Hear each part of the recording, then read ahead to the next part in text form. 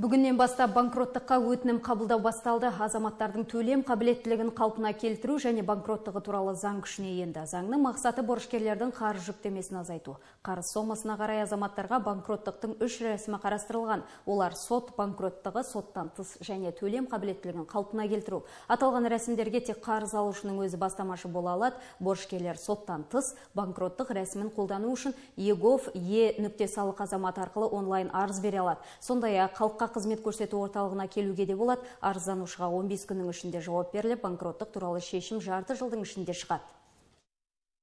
Бұл үш тараптан тұрады. Бірінші ол соттан тыс банкроттық сот, соттан банкроттығы және жеке тұлғалар өзінің мына төлем қабілеттілігін қалпына келтіру. Банкроттық рәсімдерін жасаған азаматтар 5 жылға дейін несие ала алмайды және жеті жылдан кейін ғана олар банкроттық банкроттыққа жүгіне алады.